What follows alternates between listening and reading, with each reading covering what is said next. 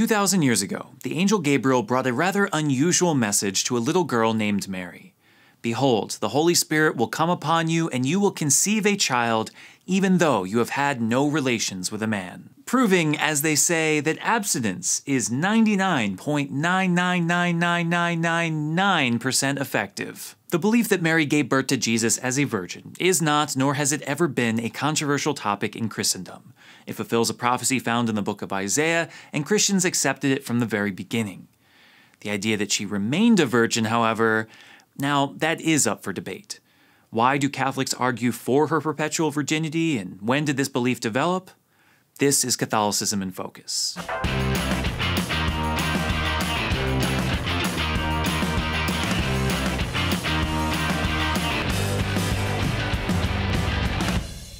As with most things in our faith, the first place that we want to look to answer our question is the Bible itself.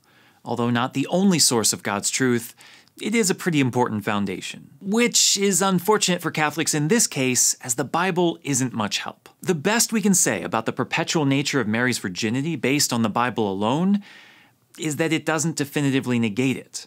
It definitively speaks of her virginity in conceiving of Jesus, but then remains silent on any other domestic event in Mary's life. It does, however, offer some contrary evidence, as Protestants like to point out.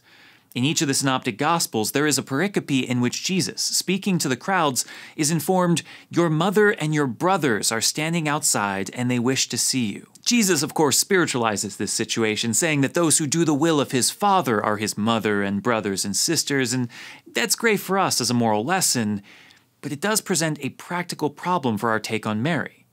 Clearly, the disciple didn't mean this spiritually, but literally.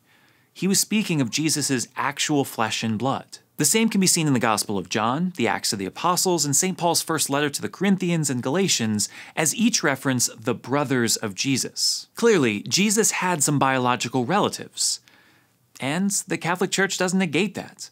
We just don't accept that these children are the offspring of Mary. When we look to the actual description of these so called brothers of Jesus, it's important to note that no one is ever described as the son of Mary.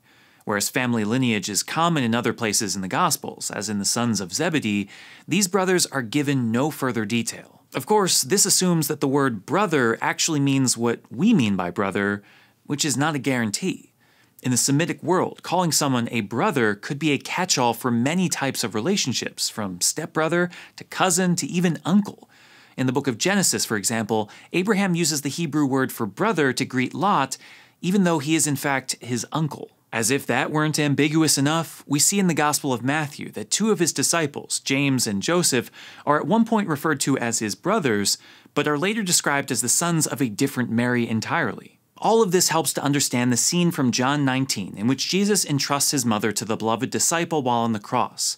If the Mary, the mother of Jesus, did have other children, Jesus would have had no need to make sure that his mother was cared for after his death, and this scene would make little sense. For many in the early church, passages referring to Jesus' siblings posed no problem to the belief in the perpetual virginity of Mary because many understood them to be children of Joseph before he was betrothed to Mary, or in all likelihood, children from another marriage. Given the world at the time, there is no reason to believe that Joseph couldn't have had other wives and a much larger family. In fact, an early Christian source says just that.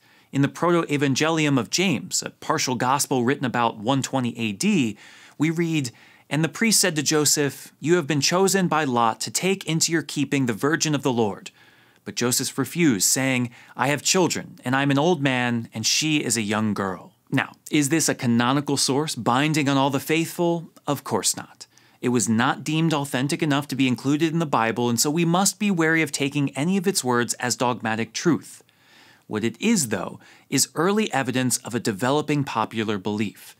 If we're important enough to be written down in the early second century, it means that there was already a strong oral tradition and popular devotion among the people a generation earlier. Over the next two centuries, the belief in the perpetual virginity of Mary took root throughout all of Christendom, developing a strong devotional following in both East and West. Some, like Tertullian and Helvidius, argued against it, but the vast majority of the church leaders, people like Origen, Athanasius, Basil the Great, Ambrose, Cyril of Alexandria, Pope Leo, Jerome, and Augustine, all defended it. And trust me, if you can get Jerome and Augustine to be on the same side of anything, that's a big deal they did not exactly get along. Eventually, the teaching was so well established among the leaders of the church, with dissenting opinions only coming from minority heretical voices, that the Second Council of Constantinople in 553 definitively referred to Mary as ever virgin, and the Lateran Council of 649 further cemented the teaching's place in Catholic theology. If anyone does not, according to the Holy Fathers, confess truly and properly that Holy Mary, ever virgin and immaculate, is Mother of God, since in this latter age she conceived in true reality without human seed from the Holy Spirit, God the Word Himself, who before the ages was born of God the Father, and gave birth to him without corruption,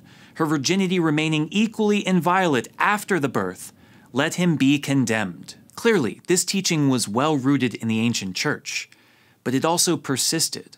What's probably most interesting about this topic is not that the belief has existed basically since the beginning, it's that it continued unchallenged even through the beginning of the Protestant Reformation. While many Protestants today do not accept this teaching, all of the major reformers did. I'm inclined to agree with those who declare that brothers really means cousins here, for Holy Writ and the Jews always call cousins brothers. Martin Luther, Sermon on John. I firmly believe that Mary, according to the words of the gospel as a pure virgin, brought forth us the Son of God, and in childbirth and after childbirth forever remained a pure, intact virgin. Ulrich Zwingli, Corpus Reformatorum. Jesus was born of the Blessed Virgin Mary, who, as well after as before she brought him forth, continued a pure and unspotted virgin. John Wesley, Letter to a Roman Catholic. Maybe most surprising of all was that John Calvin didn't even think that it was a controversial question. In one commentary, he wrote, Certainly, no man will ever raise a question on this subject except from curiosity, and no man will obstinately keep up the argument except from an extreme fondness for disputation. Unfortunately, many people do raise this question today, and I guess you can understand why. Scripture does not explicitly state that Mary remained a virgin. If you're a biblical literalist or a sola scriptura rigorist, that's the ballgame. But really, that's precisely why Scripture can't be the only source of truth.